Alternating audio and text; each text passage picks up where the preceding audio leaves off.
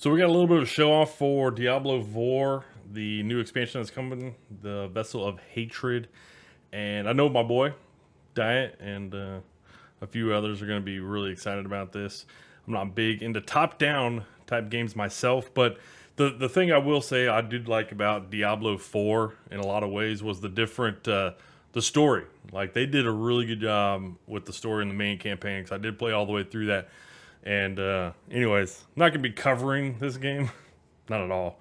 But it was uh, it was pretty cool. I like kind of some of the stuff that they kind of showed off. You're gonna have like companions stuff like that that kind of go along with you. I don't know how all that's gonna work. I don't even know how the game kind of works now, but uh, it it definitely kind of had a, a, pretty cool story to it. So I'm, I'm pretty sure they're going to be jacked about it. I'll probably have to get his opinion on it. Maybe I'll get him on here, kind of tell me what's going on with uh, Diablo 4 or something like that.